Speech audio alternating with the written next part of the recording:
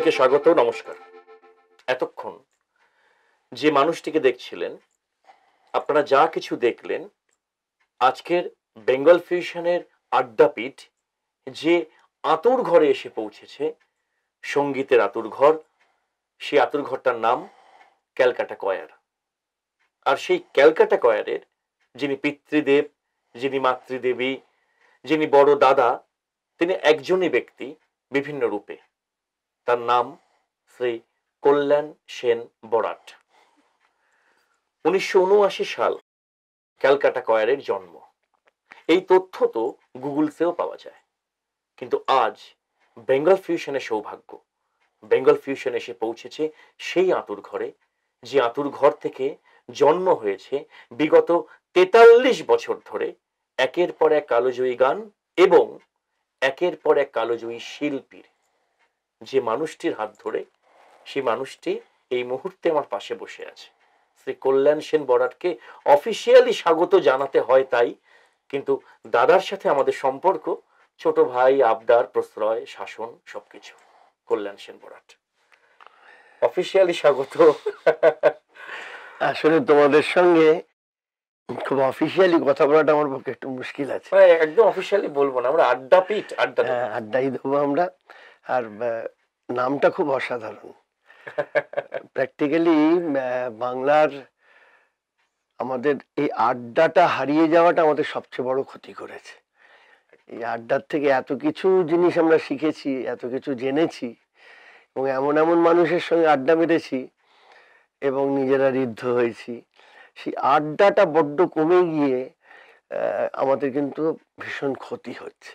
মানে সবই সেই গুগল থেকে পাওয়া এটা ঠিকঠাক হচ্ছে বলে আমার মনে হয় না একদম মানে ইলেকট্রনিক্যালি সিধু জ্যাঠা, যেটা গুগল তার থেকে বড় মুখোমুখি বসে র, চা খেতে খেতে বা মুড়ি, চানাচুর খেতে খেতে যে আড্ডা ছিল বাঙালির সেটা ফিরিয়ে আনার চেষ্টা করছে বেঙ্গল ফিউশন এখন বিষয় হচ্ছে যেহেতু আড্ডা এবং সত্যি সত্যি নামে নয়, কামেও আড্ডা, প্রকৃত অর্থে আড্ডাই দিই আমরা, তো আড্ডার কোনো চলন বলন, গমন, কিছু কেমন ঠিক থাকে না। সে ওই আলো যেদিকে যায়, গাছ সেদিকে যায় ফটোট্রপিকের মতন তা কোন দিকে আড্ডা গড়াবে? এবং সত্যি কথা, এটাকে আমি স্বীকার করছি যে কল্যাণদাও কোনোভাবে প্রস্তুত নয়। আমরাও কোনোভাবে কিন্তু প্রশ্নের কোনো তালিকার মালিকা নিয়ে বসিনি, খালি হাত। তবু একটা সূত্রধরের ভূমিকায় সুতো ঝোলাতে হয় প্রথম সুতো এইভাবেই ঝোলানো হোক, তারপর আড্ডা তার মতো করে পথ খুঁজে নেবে। সেটা হচ্ছে কল্যাণদা মানে নিজেকে বিস্তারিত করার তো অনেক মাধ্যম আছে। মানে সবকটা মাধ্যমে গেলেই হয়তো তুমি সফল হতে। কিন্তু আমার বক্তব্য হচ্ছে যে, জানতে চাইছে মানুষ যে, গান কেন? মানে কীভাবে এলো ছোটবেলায় গান? কিছুটা তো বাড়ির একটা ভূমিকা থাকে। বাড়ির যে পরিবেশ, তার একটা ভূমিকা থাকে। তাদের ইচ্ছের একটা ভূমিকা থাকে। আসলে আমার জামাইবাবু ছিলেন, একটু দুঃসম্পর্কের হলেও সম্পর্কটা খুব গভীরের সম্পর্ক ছিল সেটা হলো ধনঞ্জয় ভট্টাচার্য। আচ্ছা। এবং আমাদের বাড়িতে সমস্ত মিউজিক্যাল ইনস্ট্রুমেন্টস যে ঢুকেছিল এক এক করে সে হারমোনিয়াম থেকে পিয়ানো থেকে সেতার থেকে তবলা থেকে সবই কিন্তু ওই জামাইবাবুর হাত ধরে এবং তার মাস্টারমশাইরাও আমার দুই দিদি তারা এগুলো শিখতেন। আমার থেকে তারা সাত আট বছরের বড়। আর আমার তখন কাজ ছিল ওই ওরা যখন শিখতো তখন একটা প্যাসিভ লার্নিং হতো। চুপ করে পাশে বসে থেকে ওদের ওই গান বাজনা শোনা এবং ওদের অনেক আগে সেগুলো তুলে নেওয়া আর কি। তাতে যারা শেখাতে আসতেন তারাও খুব মজা পেতেন আর কি। এবং যখনই তারা শেখাতে বসতেন আমাকে ডাক পাঠাতেন। অসম্ভব দুরন্ত ছিলাম ছোটবেলায়। মানে সেই দুরন্তমিটা আমি ঠিক বর্ণনা করতে পারব না যে আমাদের সত্যি তাই? সত্যি এবং কীভাবে আমার বাড়ির লোক আমায় সহ্য করতো এটা একটা অস্বাভাবিক ব্যাপার। খালি ল্যাজটা ছিল এরকম সৌম্য দর্শন এরকম রাজপুরুষের চেহারা ছিল। তুমি ভাবতে পারবে না আমার দুরন্ত দুরন্তমিটা ভাবতে পারবে না। আমি যেমন- আমি সিঁড়ি দিয়ে দোতলায় উঠতাম না পাইপ দিয়ে উঠতাম। সত্যি তাই লিটারালি তাই। লিটারালি মানে একটা কথাতেই পরিষ্কার হয়ে যায় মানে ওটা আমার উঠতে ভালো লাগতো। এখনও এখন এখনও কোনো দাগ টাগ নেই এখনও? মানে এখনও গেঞ্জি গেলে লাগে বাবা মেরেছে। না এরকম বাবা মারতেন না কিন্তু মা খুবই মারতেন। বাবা খুব শান্ত ছিলেন। তো মা আমাদের খালি আমাকে শান্ত ছিলেন। হ্যাঁ। খুবই শান্ত মানুষ। একেবারেই শান্ত মানুষ। ছেলে পাইপ উঠে যাচ্ছে দেখেও শান্ত হ্যাঁ একেবারেই তাই। মানে ওটা আমার একটা অভ্যেসের মতো। সিঁড়ি দিয়ে যখন নামতাম তখন ওই ওপরেরটার থেকে মাঝেরটা একটা পুরো লাভ মারতাম। দশটা landing। ল্যান্ডিং এ আবার ওই ল্যান্ডিং থেকে আবার পরের ওইখানে লাস্ট কম সময় লাগে খুব কম সময় লাগতো। আর ওটা খুব এনজয় করতাম। একটা বারান্দা দিয়ে যাচ্ছি। বাড়িতে বড় বাড়ি ছিল আমাদের শিয়ালদায়। বাড়ি দিয়ে বারান্দা দিয়ে যাচ্ছি। মাঝখানে উপরে এরকম রড থাকতো আগে। তার উপরে লাভলাম লোকে করে দুটো ভল্ট খেয়ে আবার আবার নেমে পড়ে ছুটতে আরম্ভ করলাম। তা সেটা এটা এটা খুব একটা বিশ্বাস্য ঘটনা নয় আর কি। মানে একটু অবিশ্বাস্য রকমেরই দুরন্ত ছিলাম। কিন্তু বাড়ির লোকের অসম্ভব প্রশ্রয় ছিল একটা ব্যাপারে, যে তারা বারণ করলে আমি কিন্তু মানে অশুভ ছিলাম না, দুরন্ত ছিলাম, যেটা খুব পরিষ্কার কথা। আর গান বাজনার পরিবেশে পড়লে তখন আমার ওই দুরন্তমি কোথায় ভ্যানিশ হয়ে যেত অদ্ভুত ভাবে এটা এখন বুঝতে পারি যে কেন হতো আমি এখন কোনো ব্যাখ্যা খুঁজে পাই না, কিন্তু যখনই ওনারা আসতেন আমি তখন একটা শান্ত, সুবোধ ছেলে পাশে, তারা আমাকে পিয়ানো শেখাচ্ছেন, অজয় দা বলে আসতেন একজন, অজয় ঘোষ ছর্দি শিখছেন। এবার আমার একটা বঙ্গ ছিল তখন। বঙ্গটা নিয়ে এসো তো। হ্যাঁ বাজাও। এবার সঙ্গে কীভাবে বাজাতে হবে উনিই দেখাচ্ছেন। দেখি আমি বাজাতে আরম্ভ করলাম। আচ্ছা একটা কৌটো নিয়ে এসো। কৌটো নিয়ে গম নিয়ে এসো। কৌটোর ভেতরে গমটা ভরে ঢাকনাটা দিয়ে, ওটা দিয়ে মেরাকাস হলো। এরম ভাবে সব। এবং খুব আনন্দ নিয়ে এইসব শেখানোগুলো চলতো। এবং আমার দু একজন বন্ধু এবং আমার তখনও আমার ছোট ভাই জন্মায়নি কোহিনুর কোহিনুরের মধ্যে অনেক ছোট। আমি আর কবির দুজন মোটামুটি দু বছর, আড়াই বছরের তফাৎ। তা আমাদের নিয়ে বসে আর দিদিকে নিয়ে একটা ছোটখাটো একটা অর্কেস্ট্রা দল হয়ে গেল। আমাদের বন্ধু ছিল দেবকুমার বলে, গিটার বাজাত। ওনার কোনো স্বার্থ নেই ভদ্রলোকের, এর জন্য কিছু প্রাপ্য নেই আলাদা। কিন্তু শেখানোর পর আমাদের নিয়ে দু ঘণ্টা কাটাতেন। এইসব। এই যে আশীর্বাদগুলো পাওয়া, এটা কিন্তু জীবনে একটা বিরাট কাজ করেছে। বিরাট কাজ করেছে। এটা আমি এখন বুঝতে পারি। বা গান শেখাতে এসছেন বিতি ঘোষ। তখন খুব বিরাট ছ ফুট লম্বা ছিলেন উনি। ব্যয়বাবুই ঠিক করে দিয়েছিলেন। রবীন্দ্রসঙ্গীত শেখাচ্ছেন দিদিকে। বিথিদি যখন গান শেখাচ্ছেন আমি পাশে বসে ওই রবীন্দ্রসঙ্গীতগুলো তুলছি। আমার হাতে হারমোনিয়াম নেই কিছুই নেই। আর ইনস্ট্রুমেন্টে হাত দেওয়ার ব্যাপারে মানে কারোর অ্যাবসেন্সে একটু একটা পাবন্দি ছিল। আচ্ছা। কারণ আমি অসম্ভব ভালো ভাঙতে পারতাম। মানে সব খুলে দেখার একটা নেশা ছিল। যে একটুখানি হারমোনিয়ামটা একটু খুলে দেখি তো এটা একটু পিয়ানো এটা একটু কেমন করে আওয়াজটা বেরোচ্ছে? কোথা দিয়ে বেরোচ্ছে? এইটা একটা স্বভাব ছিল। খুলতাম কিন্তু জুড়তে পারতাম না যেটা হতো আর কি। যার জন্য কেউ সামনে থাকলে ওগুলো খোলার মানে ইয়েটা ছিল কিন্তু নইলে বারণ ছিল। তা আমি তার মধ্যেও লুকিয়ে টুকটুক করে পিয়ানো টুং টুং করছি। দিদিরা যখন কলেজ গেছে আমি এটা এরকম চলতো। কিন্তু বাবার একটা অসম্ভব প্রশ্রয় ছিল। আমার প্রতি, সেটা আজীবন মাও অসম্ভব ভালোবাসতেন মা আর কে না ভালোবাসেন, মা কাকে? সেটা না, বাবার একটা অন্যরকম ব্যাপার ছিল যে, বাবু বলতেন আমাকে যে, বাবু ভুল কিছু করতে পারে না। এরকম একটা অদ্ভুত বিশ্বাস ছিল, আজীবন। এবং প্রথম আমাকে একটা পিয়ানো অ্যাকোর্ডিয়ান, আমার এখনও মনে আছে, তখন আমি হাই সেকেন্ডারি দেবো। তা তখন আমি পিয়ানো অ্যাকোর্ডিয়ান ক্লাসে ভর্তি হই, সেখানে ভাড়ার পিয়ানো অ্যাকোর্ডিয়ান তো হঠাৎ বাবার একটা এলআইসি ম্যাচিওর করল, তখন দু হাজার টাকার এলআইসি ম্যাচিওর করা মানে অনেক ব্যাপার। এটা এটা এই আটষট্টি সালের কথা বলছি আর কি। তা তখন ওই বাবা বললেন যে, তুই একটা যন্ত্র কেন? এবং বাবা টাকা দিলেন, বারোশো টাকা দিয়ে একটা পিয়ানো অ্যাকোর্ডিয়ান কিনলাম। ওই আমার শেখা তার আগে যে শেখাগুলো হতো, সেগুলো কিন্তু দিদিদের হাত ধরে এবং কিছুটা প্যাসিভ লার্নিং এ, কিন্তু ডাইরেক্ট শেখাটা শুরু হলো ওইভাবে। তখন গান কিন্তু আমার শেখাটা চলছে পাশাপাশি ওইভাবে মানে দিদিদের পাশে বসে এবং যারা শেখাতেন, তারা আমার কাছে শুনতেও চাইতেন। এবং এটা ঘটনা যে আমার জীবনে দিদিদের ওই সাংগীতিক ভূমিকাটার একটা বিরাট প্রভাব আছে। ছর্দি বিশেষ করে আমাদের দিন নাটক করানো মানে সব ব্যাপারে অগ্রণী। কিন্তু ওনাদের সাংগীতিক বোধটা কম ছিল যে কোনো কারণেই হোক। সেটার জন্য মানে সম্পূর্ণ পারিবারিক একটা প্রশ্রয় ছিল সবার কাছে। অসম্ভব। তা নাহলে আজকের কল্যাণ সেন। কতটা কি হয়েছে কথা না কিন্তু এখন ভীষণ ভাবে ফিল মানে করি। মানে গানকে ভালোবাসার পেছনে তাদের অবদান বিরাট অবদান ছিল। আর একটা মানে হ্যাঁ, আর একটা ওই যে ধনঞ্জয় বাবু প্রায় সপ্তাহে একদিন কি পনেরো দিনে একদিন বাড়িতে আমার ঠাকমাকে গান শোনাতে আসতেন। আর তখন তো হি ওয়াজ ইন পিক মানে তখন হেমন্ত তার আগে ওনার নামটা হ্যাঁ, বলা হ্যাঁ, হয়। ওই সময়টাতে। তো উনি তখন এসে ওই গান শোনাচ্ছেন ঠাকমাকে। মেনলি ঠাকমাই সমস্ত শ্যামা সংগীত শুনতে ভালোবাসতেন আধ্যাত্মিক গান। আর আমিও চুপ করে বসে রয়েছি পাশে। ওই গানগুলো খুব, ওই মেলোডিগুলো খুব ইনফ্লুয়েন্স করতো। মানে আমি সেই অর্থে খোলাখুলি বলি আমি আমি খুব একটা ঈশ্বর বিশ্বাসী মানুষ নই। আমি, আমার মানুষের বিশ্বাস অনেক বেশি। কিন্তু অদ্ভুতভাবে আমার যেগুলো আধ্যাত্মিক ধরনের সুর, সে শ্রীরামকৃষ্ণ সিরিয়াল হোক বা লোকনাথ বাবার গান হোক, সেগুলো অসম্ভব জনপ্রিয় হয়েছে সবকিছু। তার পেছনে কাজ করে কিন্তু আমার ওই ছোটবেলার ওই মেলোডি গুলো যেগুলো বুকের মধ্যে বসেছিল না যাই ওর কাছ থেকে শোনা পানাল বাবু আসতেন বাড়িতে। তো ওই ওই শোনাগুলো ভীষণ রকম একটা জারিত করেছিল। সেই কাজগুলো কিন্তু আমি পরবর্তীকালে আমি মানুষের জন্য দিতে পেরেছি। আচ্ছা কল্যাণদা আপনি বলেন যে ক্যালকাটা কয়ার ছাড়া কল্যাণ সেন বলার কেউ না। আমার বিশ্বাস। বিশ্বাস। উনিশশো উনআশি ক্যালকাটা কয়ার শুরু হচ্ছে আসানসোল থেকে। তারপর কলকাতায় চলে আসানসোলে ক্যালকাটা কয়ার তো ছিল না।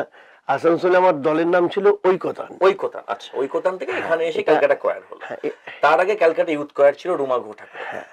এবং রুমাদির সাথে আপনার সম্পর্ক ছিল একজন দিদি ভাইয়ের মতো মানে আপনি একটা লেখায় লিখেছেন অনেকদিন আগে রুমাদি মারা যাওয়ার পরে শ্রীচারণায় যে আপনার মেয়ের বিয়েতে রুমাদি সদল বলে এসে হাজির। হ্যাঁ। এতটাই আন্তরিক। প্রায় একশো জন। প্রায় একশো জন। যে একশো জন গেলে তার কোনো অসুবিধা হবে কিনা এতটাই আন্তরিক এতটাই তার জোর যে সরাসরি আপনার এতে নিয়েছিল স্টেডিয়ামে হাজির আমি বলছি ক্যালকাটা কোয়ারে গল্পে আসছে তার আগে শুধু আমার জানতে ইচ্ছা করে যে ব্যান্ডের সাথে কোয়ারের পার্থক্যটা কোথায় দাদা? দেখো ব্যান্ড যেটা ব্যান্ডে ওখানেও কোরাস গান হয়। আগে প্রথম বুঝতে হবে যে কোরাস আর কোয়ারের তফাত কি। হ্যাঁ হ্যাঁ হ্যাঁ কোরাস হলো একসঙ্গে সমবেত সংগীত। বেশ। আর কোয়ার হলো পাশ্চাত্য রীতি মেনে একটা গান যাচ্ছে তার সঙ্গে প্রপার হারমোনাইজেশন হ্যাঁ তার কাউন্টার পয়েন্ট এইগুলোকে ব্যবহার করে যেটা ওয়েস্টার্ন চার্চে হতো। প্র্যাকটিক্যালি কোয়ারের জন্ম তো চার্চ থেকে ধর্মসঙ্গীত থেকে। পরে এটা ব্যবহৃত হয়েছে বিভিন্ন আন্দোলনে বিভিন্ন কোয়ার ব্যবহার হয়েছে। গণসঙ্গীতে গণসঙ্গীতে এবারে এবারে কি বাংলায় বাংলায় কি বৃন্দ সংগীত বলা যায়? বৃন্দগানটাও কিছুটা সমবেত সঙ্গীতই হয়। মানে কোয়ারের ঠিক কারেক্ট বাংলা আমি এখন অব্দি কারণ কোয়ারের যেটা ইয়েতে লেখা রয়েছে আমাদের ইংরেজি অভিধানে সেটা হলো গ্রুপ অফ সিঙ্গার্স। তাতে কিন্তু অত ডিটেলস কিছু লেখা নেই। এগুলো আমরা পরে পড়ে দেখেছি শুনেছি যে ওখানে যে অপেরা সিঙ্গিং ছিল বা ওখানে যে চার্চ সংগীত ছিল তাতে যে হারমোনাইজেশনের ব্যবহার সেইগুলো থেকে শিক্ষিত হয়ে এখানকার সর্বাগ্রে যার নাম বলতে হয় তিনি সলিল চৌধুরী। তারা এটা আর ব্যান্ড হলো যে ওখানকার পপ সংগীত যেটা সেইটার ধারা অবলম্বন করে গান গাওয়া চারজন পাঁচজন তার মধ্যে হারমোনিয়েশন থাকে না তা নয়। কিন্তু আমাদের হারমোনিয়েশনের যে ট্রেনটা সেটা অনেকটা ক্লাসিক্যাল ওয়েস্টার্ন হারমোনিয়াম বলতে হ্যাঁ ওই ওই ওইটা ধরে করা। মানে কয়ার একটু ধরা বাঁধা ভঙ্গিতে আর একটু বনে দিয়ে আর একটু বনে দেয়া না একটু ধ্রুপদ। একটু। একটু ধ্রুপদী। এবং সেটা একটু গুরু গম্ভীর আঙিনা তাই তো? হ্যাঁ এবার সেটাকে আমরা আমাদের মতো করে চেষ্টা করি যে যতটা পরিবর্তন পরিবর্তন করা যায় এখনকার যুগের মতো করা যায়। এবং আর একটা জিনিস যেটা এটাও সলিল দাই আমার মাথায় ঢুকিয়েছিলেন যে আমাদের শাস্ত্রীয় সংগীত আর ওদের শাস্ত্রীয় সঙ্গীতকে মেলানো যায় কিনা। আচ্ছা। ট্রু সেন্সে ফিউশনটা মানে কনফিউশন নয়। বেশ। হ্যাঁ তো সেইটা আমি আমার কোয়ারে খুব বেশি এই ইয়েটা করি। দাদা তুমি জানো কিনা জানি না আমি একটা ভুল তথ্য জানি মানে আমরা অনেকেই জানি বাইরে। অনেকের মুখে বলতে শুনেছি কল্যাণ সেন বড় তো দারুণ কল্যাণ সেন বড় আগে ছিল ক্যালকাটা ইউথ কোয়ারে মানে রোমাদির। ক্যালকাটা ইউথ কয়ার থেকে উনি কলকাতা কয়ার বানালেন। এটা একটু বলো আসলে খুব অনেকেই ভাবে আর খুব সত্যি কথা বলতে কি এটা উনিশশো ছিয়াত্তর সাল হবে। আমি বার্নপুরে একটা রুমাদির অনুষ্ঠান দেখি। এবং আমি দেখে না সে রাত্রে ঘুমোতে পারিনি। ভারতী ভবনে। মানে তখন একটা কিরম মনে হয়েছিল যে গান বাজনা নিয়ে যদি থাকি তাহলে এই ধারাটাতে যেতেই হবে আমাকে। এত আমাকে ইমপ্রেস করেছিল। তখন আর কতটুকু বয়স? যাই হোক তারপরে ওনাদের রেকর্ড শুনলাম। তখন তো লং প্লেইং ওই রেকর্ড শুনলাম শুনে আরও ইনফ্লুয়েসড হলাম। তখন ওখানে ওখানকার কিছু ছেলে মেয়েদের নিয়ে এবং তার মধ্যে কয়েকজন রীতিমতো নামি ওখানকার শিল্পী এবং তারা খুব ভালো গাইতেন। তাদের নিয়ে ওখানে একটা আমরা একটা মিউজিক সার্কেল করলাম এবং ঐক্যতান কোয়ার করলাম। এই হলো আমার হাতে খড়ি। অর্থাৎ একলব্যের মতো কিন্তু মানে রুমাদি কিন্তু সেদিক থেকে ভাবলে ইনফ্লুয়েসটা ওখান থেকে।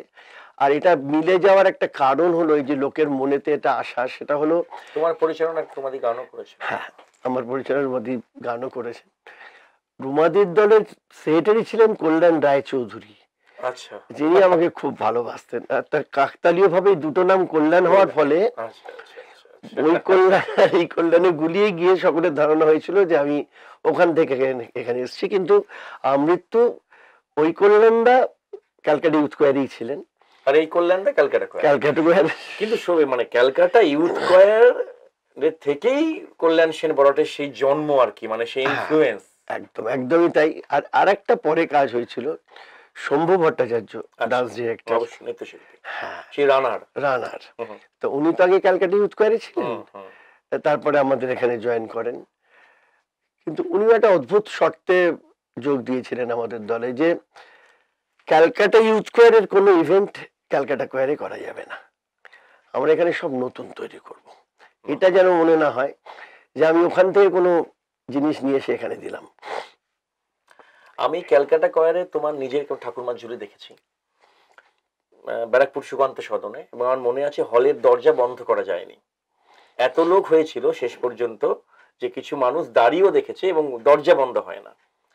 এবং যাদের অভিজ্ঞতা নেই তাদের বলি যে সবই দেখুন, গান দেখুন, নাচ দেখুন, সবই দেখুন, সিনেমা দেখুন। কিন্তু যদি পারেন একবার জোর করে আমার উপর রাগটাগ করেই, ক্যালকাটা কয়ারের কোনো একটা মঞ্চানুষ্ঠান একবার দেখুন, যারা এখনও দেখেননি। মানে বিরতিও যে এত অসহ্য লাগে, সেটা ঠাকুরমার ঝুলিদের থেকে দেখেছি। যে কখন শুরু হবে, এটা শুধু আমার নয়, এটা প্রত্যেকেরই। মানে বিরতির সময় হল খালি হয়ে যায়, ব্যারাকপুর বাইরে দাঁড়িয়ে চা খায়, সিগারেট খায়, আবার ঢোকে। তখন মানুষ নড়েনি, কারণ আমার জায়গাটা চলে গেলে আমি জায়গা পাবো না। তখন আর টিকিট মিকিট মেনটেন হচ্ছে না। হ্যাঁ হলের দরজা বন্ধ করা যায়নি, এসি ঠান্ডা হচ্ছে না, কিন্তু ঠাকুরমার ঝুলি শেষ অবধি হয়েছে, এটা আমার দেখা। যেটা বলার সেটা হচ্ছে, বিশেষ করে অনেকগুলো কোরাস সংগীত দেখেছি ব্যান্ডের গান আমরা সবাই শুনেছি। কয়ারের সাথে কি এটা মানে কয়ারে কি গানের সাথে সাথে শারীরিক অভিনয়ের জায়গাটাও থাকে বা কণ্ঠের অভিনয়ের জায়গাটা? অবশ্যই। আসলে কারণ আমি তোমাদের যত অনুষ্ঠান দেখেছি তাতে অদ্ভুত একটা কণ্ঠের অভিনয় থাকে। তুমি খুব একটা খুব খুব দামি একটা প্রশ্ন তুলেছ। একা গাইলে যে অভিনয়টা করা যায় যে কোনো ব্যাপারে যখন একসঙ্গে কুড়ি জন গাইছে, তখন ওই গানের মধ্যে কুড়ি জন একসঙ্গে গাইছে হয়তো অথচ একটাই ভাব প্রকাশিত হচ্ছে। এটা করতে গেলে ইন্ডিভিজুয়ালি প্রত্যেককে ট্রেন করতে হয় ওই ভাবটাতে। যার জন্য আমাদের এখনও যেটা তেতাল্লিশ বছর আগে যে গানটা গেয়েছি, জন হেনরি সেটা আমাকে এখনও রিহার্সেল করতে হয়। জন হেনরির হাতুড়ি। হ্যাঁ। জন হেনরির হাতুড়ি। সেটা আমাকে এখনও রিহার্সেল করতে হয়। আমার স্ত্রী মাঝে মাঝে জিজ্ঞেস করে হ্যাঁ যে এখনও তোমরা এগুলো কেন রিহার্সেল করো? এই গানটা অনেকে শোনেনি যারা। দুকলি একটু গাইবে দুকলি আমার জন্যই। জন হেনরির হাতুড়ি। হ্যাঁ। নাম তার ছিল জন হেনরি ছিল যেন জীবন্ত ইঞ্জিন। হাতুড়ির ঘায়ে ঘায়ে পাথরে আগুন জলে হাতুড়ি চালানো তার সম্বল। হে হে হে হে হাতুড়ি চালানো তার সম্বল। হে হে হে হে হাতুড়ি চালানো তার সম্বল। আমি একটু কথা ভুল বললাম। যাই হোক স্পিরিট ওয়াজ লাইক দ্যাট তারপরে মাঝখানে একটা জায়গা আসছে ওই, উম, জন হেনরির চির প্রিয় সঙ্গিনী নাম তার মেরি ম্যাকডেলিন। এইখানে যে ভাবটা সেটা আলাদা। আবার জন হেনরির কচি ফুল মেয়েটি পাথরের বুকে যেন ঝরনা। এই যে প্রত্যেকটা একই বেলার তো একই সুরে হুম, হুম। বিভিন্ন হচ্ছে বা জন হাতুড়ির ঝলকে চমকায় বেজোরের গতি। এই যে দেখো প্রত্যেক কটার কিন্তু আলাদা রেল লাইন পাতার কাজ চলছে যেটা ইতিহাসটা আমি জানি সেটা রেল লাইন পাতার কাজ চলছিল পাহাড় ফাটিয়ে। আঠারোশো সত্তর সালে। সত্তর সালে। একটা মানুষ হাতুড়ি দিয়ে সেই পাহাড় ফাটিয়ে হ্যাঁ। রেল লাইন তৈরির কাজ এবং। সে যন্ত্রের সঙ্গে যন্ত্র শক্তির বিরুদ্ধে তার লড়াই শ্রম শক্তি একেবারে তাই। জন হেনরির হাতুড়ি। এইটা এইবার তোমাকে আমি যেটা তুমি বললে তার এটা ভালো হলো। এই যে প্রত্যেকটা লাইনের আলাদা আলাদা মানে সুর এক। এবার ভাবে যদি আলাদা মানেগুলো আমি প্রকাশিত না করতে পারি আমি যদি খালি সুরটা ওই কুড়ি জনকে তোলাই। তাহলে কিন্তু মানুষের কাছে জিনিসটা পৌঁছবে না। কাজে প্রত্যেককে ধরে ধরে ওই জায়গায় ঠিক কি ধরনের অভিনয় করা দরকার এইটা বোধহয় শুধুমাত্র আমরাই করি। যে কারণে আমি এটা মানে ভেবে এসেছি এইটা আমার খুব জানার ইচ্ছে। এবং হ্যাঁ না এবং আমাদের ছেলে মেয়েদেরও। হ্যাঁ, এবং আমাদের ছেলে মেয়েদেরও যারা সিনিয়র আছে তারাও যারা একটু পরের দিকে এসছে তাদের এই কথাটা বোঝাবার চেষ্টা করে তাদের তোলাবার চেষ্টা করে যে কল্যাণদা এই জায়গাটা এইটা চাইছেন। মানে না হলে তো ওই বোধটা বেরোবে না ওটা তো কনভে হবে না মানুষের কাছে। কাজে এটা খুব একটা জরুরি প্রশ্ন তুমি তুলেছো। মানে শুধু একই রকম পোশাক পরলেই। কয়ার হয় না বা সমবেত সংগীত হয় না। আমরা সব জায়গায় দেখি একই রকম পোশাক পরি আমরা। পরে দাঁড়ালাম মানে আমরা দল এই কণ্ঠ অভিনয়। এটা এটা খুব আচ্ছা, আরেকটা আমার খুব জানার ইচ্ছে। আজকে যদি আমরা পাঁচ বন্ধু মিলে ব্যান্ড করি দু বছর পর দেখা যাচ্ছে সেখানে আমার সাথে তোমার একটা গন্ডগোল বাজছে। হ্যাঁ, দ্বন্দ্ব হচ্ছে না হ্যাঁ বহু বহু ব্যান্ড। ভেঙে গেল। এবং সকলেই গুণী ব্যক্তি। তেতাল্লিশ বছর প্রায় পঁয়তাল্লিশ বছর চলবে এবং সামনে ফিফটি ইয়ার্স যদি বেঁচে থাকি আর কি। না অবশ্যই। আচ্ছা তা আমি বলছি যে এত বড় একটা একান্নবর্তী কারণ একশো একবর্তী পরিবার। কি করে এত বছর ধরে ধরে রাখার কেমিস্ট্রিটা কি? দেখো রসায়ন একটাই এটা হলো তোমার একটা সদাহাস্য মুখর মুখ সেটা তো একটা আছে। হ্যাঁ কিন্তু আমার বকুনির মুখটা তো তুমি দেখোনি। আমি যখন বকি সেই মুখটা দেখোনি। সেটা দর্শকরা কেউই দেখেননি। এবং যখন বকি তখন বাবা যেমন ছেলে মেয়েকে বকে আমি তো আগেই বলেছি আমি শুরুতে পিতৃদে মাতৃদে বরদাদা তা- না ওরা সেভাবে মেনে নেয়। মেনে শুধু ভয় না ভয় ভালোবাসা সব মিলিয়ে যারে বলে ভালোবাসা তারে বলে পূজা। ওই ওই একটা জায়গার থেকে আমি হয়তো একটু এগিয়ে আছি যে আমার প্রতি বিশ্বাস আছে আমার দলের ছেলে মেয়েদের। আমি আমার ছেলে মেয়েই বলি। আমার ছোট কতজন সদস্য এখন ক্যালকাটা এখন নব্বই পার নব্বই জন।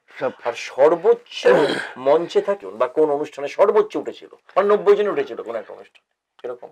হ্যাঁ এরকম হয়েছে অনেক হয়েছে। আর এমনি তো মানে অনুষ্ঠান পঞ্চাশ থেকে সত্তর জন তো সব এম- থেকে এমনি তো তোমার খালি গানেরই তো আমাদের ধরো একুশ আর তেরো চৌত্রিশ জন তো সবসময় মঞ্চে থাকছি যারা গান আর ইয়ে আর যেগুলো ডান্স ড্রাম হয় সেগুলো অবশ্য আমরা রেকর্ড করে নিই কারণ অতজন লোক রাখার পর আর তো সেটিং করা যায় না।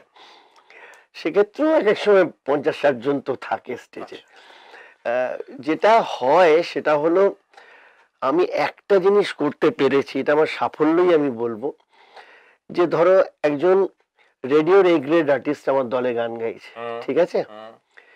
সে কিন্তু যখন ঠাকুমার ঝুলি হচ্ছে তখন বুকে হেঁটে ওই নৌকো দিয়ে যেটা যায় ও বুকে হেঁটে ওই নৌকোটাকে নিয়ে এপার থেকে ওপার যাচ্ছে। তখন সে ভুলে যাচ্ছে যে আমি গ্রেট। রেডিওর এই যে দলের প্রতি আনুগত্য বা বিদেশে শো করতে গেছি পর্দা টানার আমরা অনেক কম লোক গেছি। যেটা অতজন লোক আমরা গেছি আঠেরো জন। এবারে আমাদের সঙ্গে বেবিদা গেছেন প্রতাপ রায়। অ্যাকর্ডিয়ানিস্ট সবাই চেনেন। এখন অসুস্থ আছে। ঠিক হয়ে যাবেন আশা করি হ্যাঁ। চুরাশি বছর বয়স। ভালো হয়ে যায় তার দু হাজার আট সালে ওনার বয়স চোদ্দ বছর আগে মানে সত্তর। সত্তর বছর। এবারে উনি তো গেছেন বাজাতে আমাদের প্রোগ্রামে। এবারে মাঝখানের যে কার্টুনটা একবার করে বন্ধ হয় হয়ে পেছনে সেট সেটিং তৈরি হয় এটা আলিবাবা নিয়ে গেছিলাম আবার কার্টুনটা খুললে দেখা যায় একটা পুরো নতুন সেট হয়ে গেছে। এবার ওখানকার ছেলে মেয়েদের তো ট্রেনিং করিয়েছি প্রায় ওখানকার সত্তর জন ছেলে মেয়ে নিয়েছিলাম। নিয়ে ওদের ট্রেনিং করিয়ে দুবার গিয়ে ট্রেনিং করিয়ে আমি গুপিবাগা আলিবাবা সব কিন্তু ওগুলো ওখানকার ছেলে মেয়েদের নিয়ে করিয়েছি। আচ্ছা, আচ্ছা। এটা একটা আমার বিরাট পাওয়া মানে ওখানকার ছেলে মানে ওখানকার বাঙালি ছেলে মেয়ে? ওখানকার বাঙালি নন বেঙ্গলি আচ্ছা। কিন্তু ইউরোপিয়ান একজনই পেয়েছিলাম আচ্ছা, গুপিবাগা করার আচ্ছা, সময়। আচ্ছা আচ্ছা। তো এই যে ওদের দিয়ে করানো ওরা তো অত মনে রাখতে পারে না। বেবিদা হঠাৎ বললেন এই পর্দাটা আমি টানবো। জাস্ট ভাবো। এবং দুটো শো হয়েছিল। ওই বিশাল তো অডিটোরিয়াম এবার ওই দড়ি ধরে উনি টানছেন। তুমি বিশ্বাস করবে না বললে, এইখান থেকে এখানে না কেটে গেছে দড়িতে। ওই হাতে উনি কিন্তু অ্যাকোর্ডিয়ান বাজাবেন। কিন্তু একবারের জন্য বিচ্যুত হলেন না, একটা কিউ ভুল নেই। শোয়ের পর যখন দেখাচ্ছেন, তখন আমার চোখে জল এসে গেছে। যে কমিটমেন্ট কাকে বলে? একটা লোক এই লেভেলের পিয়ানো অ্যাকর্ডিনিস্ট যিনি সন্ধ্যা মুখার্জির সঙ্গে বিয়াল্লিশ বছর মান্নাদের সঙ্গে তেতাল্লিশ বছর বাজনা বাজিয়েছেন ওখানেও স্টেজে মান্নাদের সঙ্গে বাজিয়েছেন।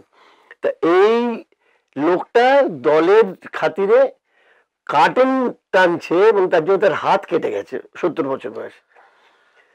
এগুলো মানে এই মোটিভেশনটা আমি করতে পেরেছি। আমার আমার যদি তুমি সাফল্য বলো তাহলে আমার সাফল্য এটাই। যেটা পেরেছি। দাদা এবার ক্যালকাটা কোয়ার থেকে একটু বাইরে আসি।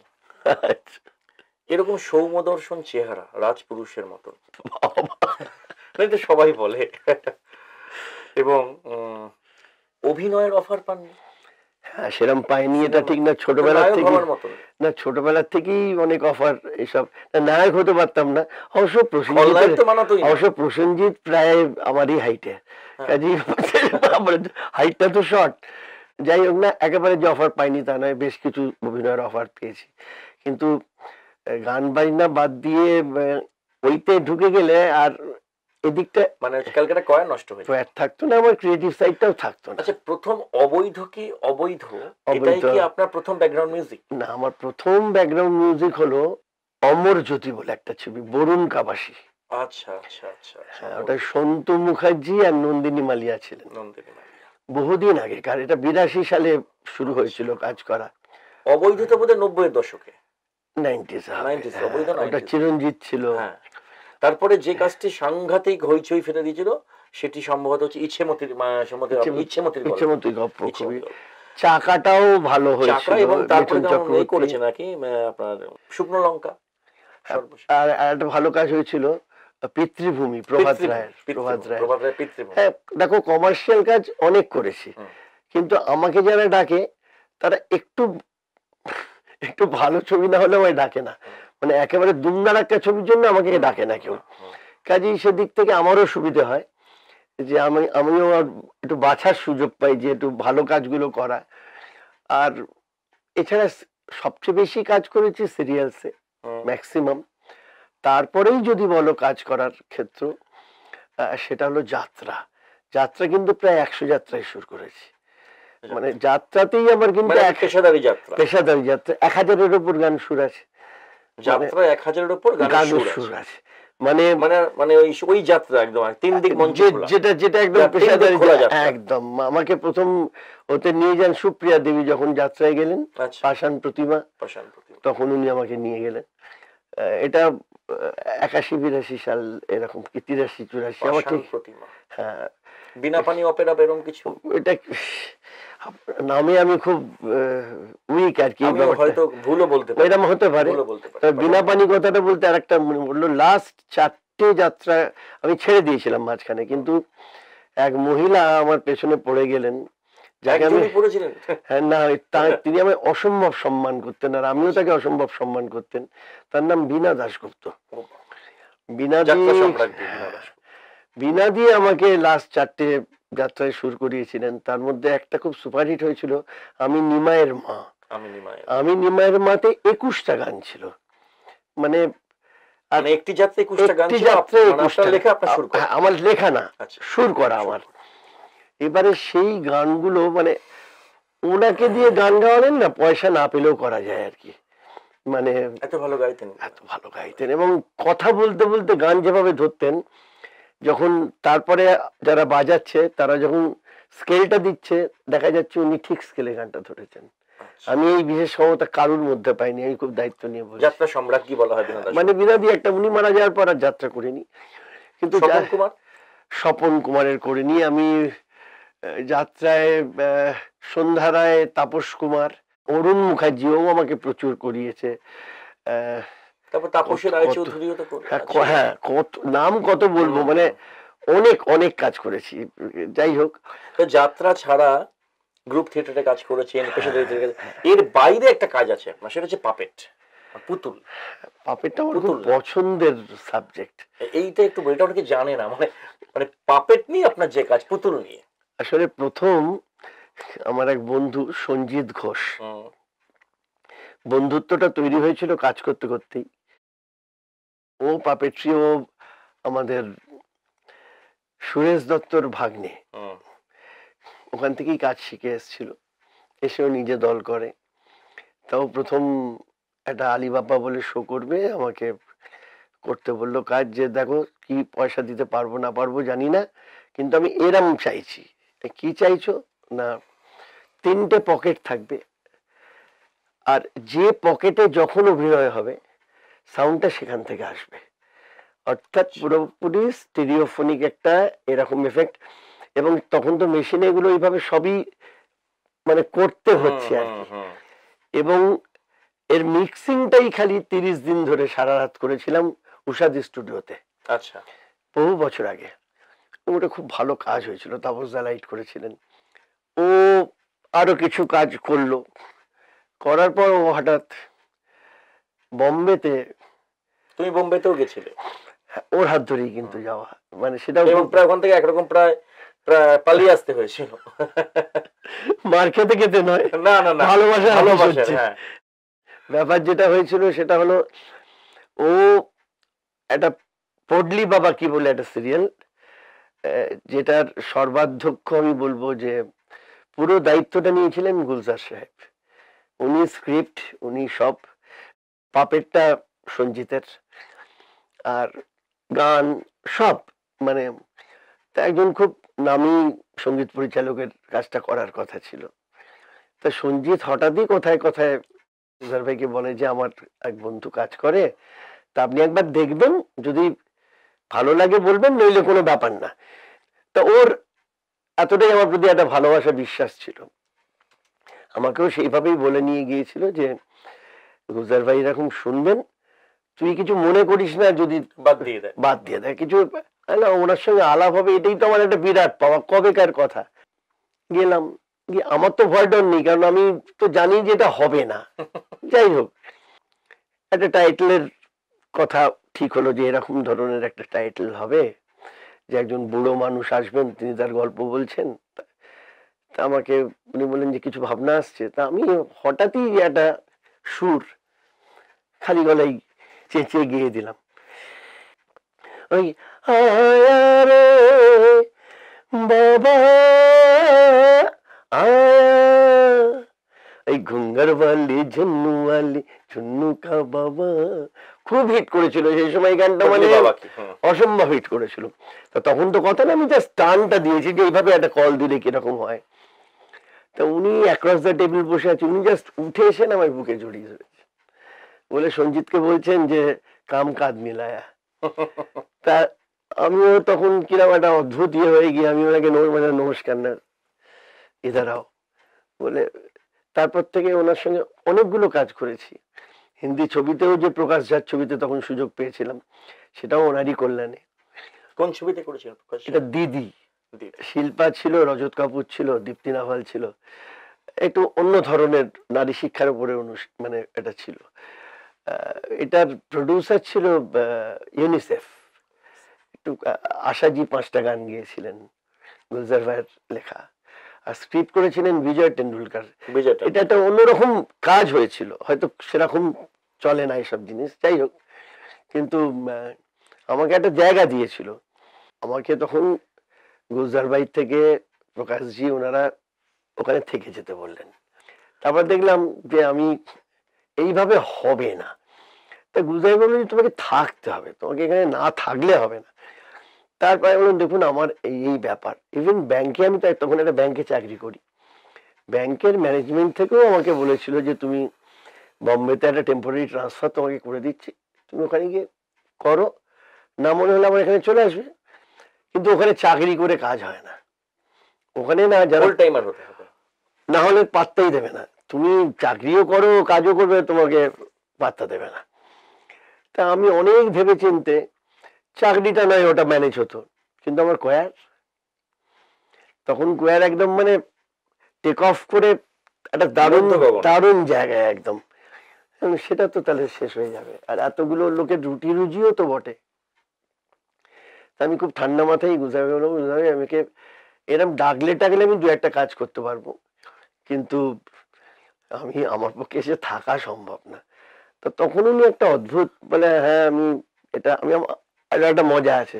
গুজার ভাই, এখনও যখন ফোন করেন, উনি বাংলায় কথা বলেন আমার সঙ্গে। সবসময় আমরা দুজনে বাংলায় কথা বলি। এই লাস্ট দু মাস জাস্ট তিন, চার মাস আগে একটা অনুষ্ঠান উনি আর অজয় চক্রবর্তী মিলে করলেন ওখানে টাটা সেন্টারে তা আমি গেছিলাম। তা ওখানেও পাশাপাশি বসেছিলাম। দেড় দু ঘণ্টা। যা কথা সবই বাংলায়। এটা উনি খুব এনজয় করেন। আর উনি একটা কথা খুব দারুণ কথা বলেন যে একদিন রাখিকে আমার সামনে বলছেন রাখি দিকে যে শোনো তুমি বাই বার্থ বেঙ্গলি আমি বাই চয়েস বেঙ্গলি তো এই যে একটা জায়গা তা উনি তখন আমাকে একটা ছোট্ট কথা ছুঁড়ে দিলেন। না কথাটা আমার জীবনে একটা যে আমি আমি যখন বললাম যে আমি পারব না এখানে ছেড়ে ওখানে তখন বলছে কিপ ইট আপ অর্থাৎ এই কথাটা ওনার খুব মনোপুত হলো যে আমি আমার মাটি ছেড়ে, আমার কোয়ার ছেড়ে আমি যাচ্ছি না। এবং আমি যখন গুপি বাঘার কাণ্ড করলাম, ওটা একটা অসম্ভব সাফল্য। ওইটার পর যখন হিন্দিতে আমি গোপী বাঘা কা তামাশা করলাম সেটা আমাদের রাজেশ শর্মা ও ওটা স্ক্রিপ্টটা ট্রান্সলেট করেছিল। আমি গানের জন্য জাস্ট কি বলব পয়েন্ট ব্ল্যাঙ্ক একটা ইয়ে- ইয়ে নিয়ে গুলজার ভাইকে চলে গেছিলাম। যে ভাই এরকম গান আছে, গানগুলো যদি আপনি লিখে দেন। বলে, ঠিক আছে, তুমি তাহলে এই সময় এসো, তিন দিন সময় নিয়ে আসবে। আমি গেলাম। এবার আমি পকেটে পঁচিশ হাজার টাকা নিয়ে গেছি। উনি তখন একটা গান লিখতে এক এক লাখ টাকা নেন। আমি আটটা গানের জন্য পঁচিশ হাজার টাকা নিয়ে গেছি। সাহস ভাবো তুমি। এবার হয়ে তখন তো টাকা পয়সার কোনো কথাই বলছেন না। হয়ে, সময় দিলেন তিন দিন, গান লেখা হলো। হয়ে সব আমি বললাম, খুব মানে ইয়ে করে যে ভাই আমি আপনার জন্য একটা জাস্ট অনারারিম এসছি নিয়ে এসছি। তা আপনি যদি গ্রহণ করেন আমাদের ভালো লাগবে। বলেন এসে হ্যাঁ। হ্যাঁ একটু হলে ভালো। বলে যদি ভালো হয় তাহলে দাও তুমি ফিরে যাও। ফিরে গিয়ে একটা এক টাকার মানি অর্ডার পাঠিয়ে দাও। তা আমি সত্যি কেঁদে ফেলেছিলাম সত্যি কেঁদে ফেলেছিলাম। মানে এই মাপের একটা মানুষ আমার জীবনে সবচেয়ে বড় ভাবা পাওয়াটা কি জানো?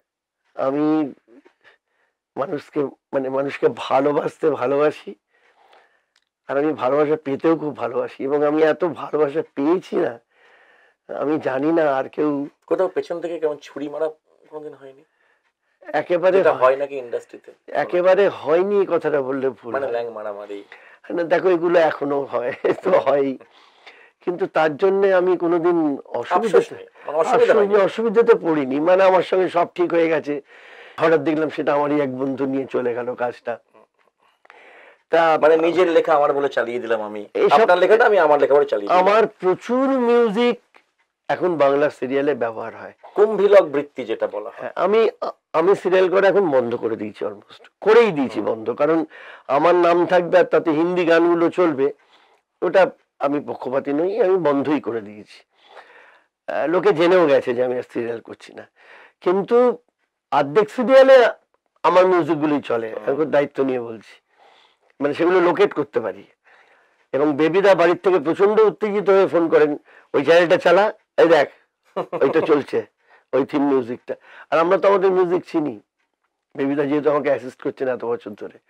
তো এইগুলো তা আমি তখন বেবিদা রেগে গেলে বেবিদাকে বলি বেবিদা চুরি তো লোকে তো সোনাই চুরি করে বেতন তো চুরি করে না। কাজ, কাজটা তো কাজের মতো আমরা সবাই মিলে করেছি বলেই তো লোকে চুরি করছে। ঠিক আছে, এটা এইভাবে মেনে নেওয়াই ভালো। সারা জীবনে প্রচুর কাজ করেছ, এখনও আরও প্রচুর কাজ করবে। ইভেন আমরা এই- এই- এইখানে যেটা বসে আছি, এটা হচ্ছে কল্যাণদার বাড়ি ইএম বাইপাস ওই মেট্রোপলিটন ধাবা ঠিক তার পাশ দিয়ে ঢুকে, এবং বাড়ি চেনা খুব সহজ, বাড়ির সামনে যে গ্যারেজ তার গায়ে তবলা, তানপুরা মানে গ্যারেজ থেকে সংগীত শুরু। মানে কল্যাণদার গাড়িটাও বোধ হয় সঙ্গীতের ছন্দে ছন্দে স্টার্ট নেয়। এরকম একটা ব্যাপার। তো সেই বাড়ির একদম কল্যাণদার অন্দর মহল, আতুর ঘর বলছিলাম, সেটা হচ্ছে কল্যাণদার নিজের স্টুডিও পার্সোনাল স্টুডিও সেই স্টুডিওর একদম ভেতরের ভেতরের ঘরে আমরা বসে আছি, আপনারা দেখতেই পাচ্ছেন। যেটা আরও প্রচুর কাজ করবে। আমি বলছি যে আফসোস কি আছে জীবনে? যে এটা করা হলো না। একটাই আফসোস? শেখাটা অনেক কম হয়ে গেল। শেখাটা কম হয়ে গেছে? শেখাটা অনেক কম হয়ে গেছে। অনেক বছর চাকরি করেছি।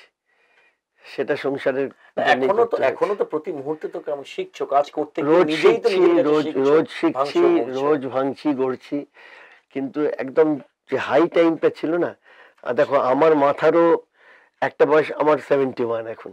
আচ্ছা। এবার একটা বয়সের পর না মানুষের নেওয়ার ক্ষমতাটা কিন্তু একটু কমে আসে। আমি যেমন তোমার নাম পাঁচবার শোনার পর ছবার বার তোর নামটা ভুল বলব। এরম ব্যাপারগুলো হয়ে গেছে আস্তে আস্তে। এবারে এখন গ্রহণ করার আমি যার জন্য রোজ পড়ি, রোজ শিখি। কিছু না কিছু রোজ সৃষ্টি করার চেষ্টা করি।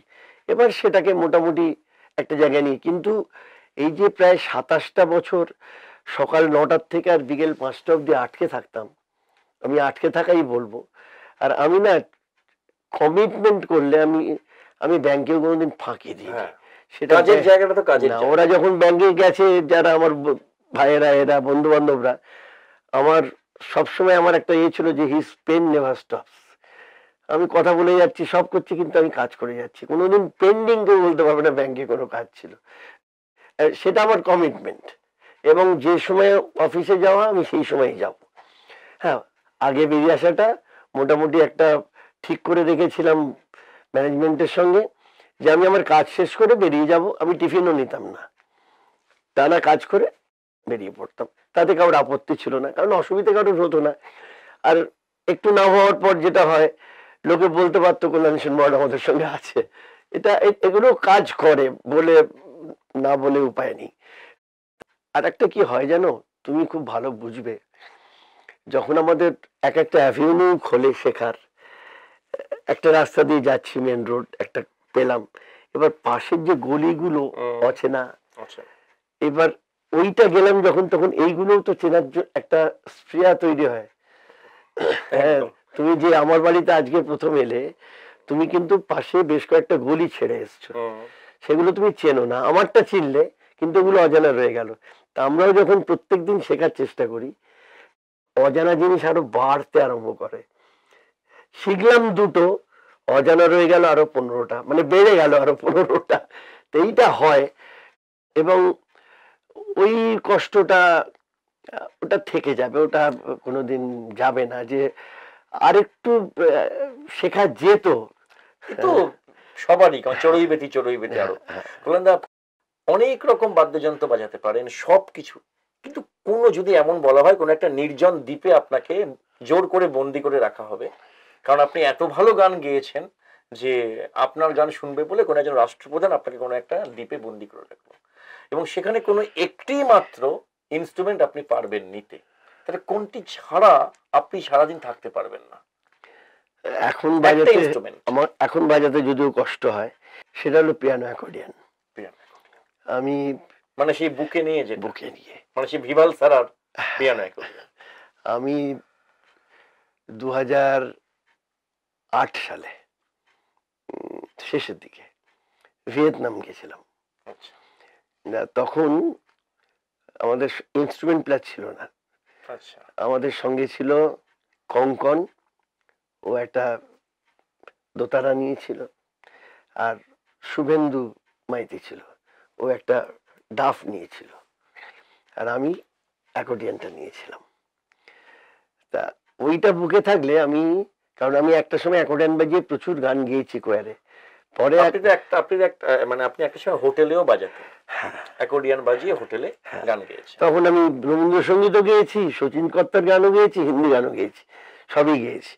এবং আমার চাহিদা ছিল এই কারণে যে আমি গাইতেও পারি বাজাতেও পারি। এটা একটা বাড়তি ছিল। এবং প্রথমেই একটা কথা বললাম না? আমাদের অবস্থা খুব একটা অসচ্ছল ছিল না। কিন্তু বাবার বিশ্বাসটা আমার প্রতি একটা অদ্ভুত ছিল। বাবাকে যখন বাবার বন্ধুরা বলছে যে ও হোটেলে কেন বাজাতে যাচ্ছে? তোদের কি টাকা পয়সা এরম দরকার হয়েছে যে তো ছেলেকে হোটেলে বাবা বলেছিল যে আমার সামনে। ভুল কিছু করতে পারে না। হ্যাঁ একদম। যে বাবু কোনোদিন কোনো ভুল কাজ করবে না। এই কথাটা আমার চেষ্টা আপনি কোনোদিন ইচ্ছে করলেও আর পারবেন না করতে ওটা তো সবসময় মনে থাকতো। ওইটা না আমাকে হ্যামার করে চিরকাল আর একটা যেটা হয়েছে যে হোটেলে বাজালে দুটো জিনিস হয়। এক হলো অ্যাট্রাকশন হতে পারে ওই সমস্ত পৃথিবীর সমস্ত খারাপ কাজ ওই জায়গাগুলো হয় তো? আর একটা হতে পারে তোমার হেট্রেট এসে গেল একটা। তা আমার ওই দ্বিতীয় জিনিসটি এসেছিল হেট্রেটটা যে যে জিনিসগুলো হয় সেগুলো ঠিক না এটা বুঝতে পেরেছিলাম। তার পেছনে আমার রাজনৈতিক সচেতনতাটাও একটা কাজ দিয়েছিল। আমি যাদের সঙ্গে মিশতাম তাদের সঙ্গে একটু বামপন্থী। অবশ্যই। দেখো আমি যাদের কাছে শিক্ষিত হয়েছি সলিল চৌধুরী হেমাঙ্গ বিশ্বাস এনারা তো সব সবাই বাম মনস্কতার থেকে নিজেদের সঙ্গীতকে জারিত করেছিলেন এবং তারা বিশ্বাস করতেন যে মানুষের জন্য শিল্প। আবার তুমি একটু আধ্যাত্মিক জায়গায়ও যদি যাও রামকৃষ্ণদেব বলছেন যে নাটকে লোকশিক্ষা হয়। হ্যাঁ অর্থাৎ শিল্পটা যে মানুষের ভালো কল্যাণের জন্য, এইটা কিন্তু মাথায় সবসময় কাজ করেছে। এবং সেটা এখন তো কাজ করেই, ছেড়েই দাও। এবং আমার কোয়ারের প্রোডাকশনে এরকম কোনো প্রোডাকশন নেই যে শুধু নিছক বিনোদন। নিছক বিনোদন, না। মানে কিছু না কিছু মেসেজ তাতে সবসময়। থাকে। আমি আমি সেটাকে ঘুরিয়ে দিই এমন ভাবে লাস্টে গিয়ে যে একটা অন্যরকম মেসেজ যায়। আর ওই বাবার ওই কথাটা এবং আমরা যাদের সঙ্গে মিশেছি সারা জীবন ধরে তাদের আদর্শ দেখে অনুপ্রাণিত হওয়া সবকিছু মিলে। তবে আমি একটা কথা বিশ্বাস করি যেটা আমার বলতে কোনো অসুবিধা নেই যে শিল্পীদের কোনো পার্টিকুলার দলের সভ্য হওয়া উচিত না। এটা আমার নিজের মনে হয়েছে হ্যাঁ রাজনৈতিক ভাবে আমার বিশ্বাস একটা থাকবে। কিন্তু সেও ভুল করলে আমি যাতে বলতে পারি সেই জায়গাটা আমাকে রাখতে হবে। আমার নিজেকে ফ্রি রাখতে হবে। আমার চেতনা আমার মনন আমার বিশ্বাস সেইখানে কিন্তু আমি কোথাও বদ্ধ নয় কারোর কাছে। বদ্ধ দায়বদ্ধ নয়। দায়বদ্ধ। এই হচ্ছে কল্যাণ সেন বরাট এবং ক্যালকাটা কয়ার। সবশেষে দামি কথা যে অবশ্যই কোনো একটা রাজনৈতিক দলের প্রতি আনুগত্য থাকতে পারে বিশ্বাস থাকতে পারে কিন্তু সে রাজনৈতিক দলের যারা কর্মী তাদের প্রতিও বিশ্বাস থাকতে হবে তাদেরকে অন্ধভাবে মানতে হবে এটা নয়। আদর্শটার প্রতি বিশ্বাস কিন্তু আদর্শহীনতার প্রতি ধিক্কার। আমরা শেষ করব কল্যাণদার কণ্ঠেই তার প্রিয় কোনো একটি রবীন্দ্রসঙ্গীত ক্যালকাটা কয়ার যেভাবে প্রেজেন্টেশন করে সেভাবে কল্যাণদা করবে। আমরা শুনতে শুনতে যেটুকু আমার কথা আপনাকে সহ্য করতে হয় সেটা হচ্ছে বেঙ্গল ফিউশন যেটা বলতে হয়, নিয়ম মেনে আড্ডার মধ্যেও বেঙ্গল ফিউশন দেখতে থাকুন, শুনতে থাকুন। আর এর পরেও আমরা এরকম পর্ব আরও আনব আড্ডা পিঠে এর আগে আপনারা দেখেছেন শুভেন্দু শুভেন্দুদার কথা শুভেন্দু মাইতি, কল্যাণ সেন বরাট, আরও আসছে ক্রমশ প্রকাশ্য। আর ওই যে বলল যে, শিল্পীর কোনোদিন আনুগত্য একদম অনুচিত। আর শিল্পীর কোনো মৃত্যু হয় না। সে তো মৃত্যু ভয়ের উপর হাসতে হাসতে ডাকাতি করতে পারে। এটা সম্ভবত অজিতেশ বন্দ্যোপাধ্যায় লিখেছে নানা রঙের দিন নাটকে। তো আমরা শেষ করব। কল্যাণ সেন বরাট সেই মানুষটি। আমি বরং অন্য একটা গান গাইছি। অন্য গান যেটা যেটা ইচ্ছে যেটা ইচ্ছে। ঠিক আছে। উনিশশো বিরানব্বই সালে একটা ঘটনা আমাদের শিল্পীদের খুব নাড়িয়ে দিয়েছিল। দেখো আমরা যারা শিল্পী তারা তো সেই অর্থে জাতপাত ধর্ম নির্বিশেষে শিল্পী। আমরা বিশ্বাস করি যে মানুষ এক। এবং যদি কেউ ঈশ্বরেও বিশ্বাস করে, সে বিশ্বাস করবে যে ঈশ্বর অভিন্ন। সেইখানে দাঁড়িয়ে ওই রকম একটা যখন খুব ক্ষতিকর পরিবেশ সৃষ্টি হলো সারা ভারতবর্ষে, তখন আমরা বাংলা শিল্পীরা একটা উদ্যোগ নিই বিশেষ করে আলো কুণ্ডু সঞ্জিত ঘোষ আর আমি মিলে একটি উদ্যোগ নিয়ে যে এখানকার যত শিল্পীরা আছেন, তাদের সকলকে নিয়ে একটা গান উইথ ভিজুয়ালাইজেশন তৈরি করব। নিজেরাই টাকা দিয়ে শুরু করেছিলাম এবং তাতে সুচিত্রা দি মানে সুচিত্রা মিত্র, রুমা দি, রুমা গৌটকর্তা ভূপেন হাজারিকা, অজয় চক্রবর্তী, রশিদ খান, হৈমন্তী শুক্লা অমরিক সিং অরোরা অনুপমা দেশপান্ডে আর হয়তো দু একটা নাম বাদ পড়ে গেল। তা এরকম সবাই মিলে ক্যালকাটা কোয়ার তো ছিলই। সবাই অংশগ্রহণ করেছিলেন বিনা পারিশ্রমিকে কেউ এক পয়সা গাড়ি ভাড়াও নেননি। পরে সেটা দূরদর্শন নিয়ে নেয় এবং তারা দেখাতে শুরু করে। আহ, সুব্রতর লেখা আমার সুরে এই গানটা এটা আমার একটা অন্যতম প্রিয় গান আর কি। জীবনে যত গান তৈরি করেছি তার মধ্যে এই গানটা কিরম মনে হয় যে এটার একটা অন্য মূল্য আছে আমার কাছে। সেটা ঠিক বলে বোঝাতে পারব না মূল্যটা কি।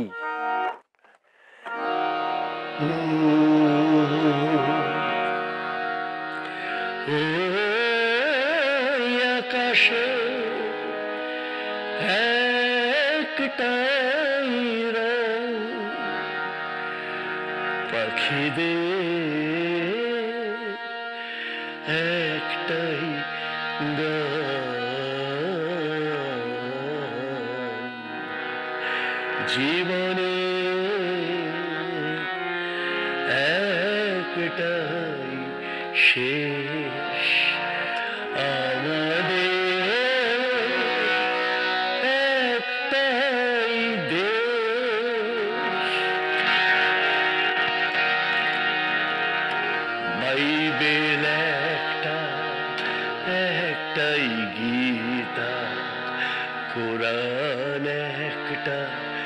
এই ধরায় বাইবেল একটা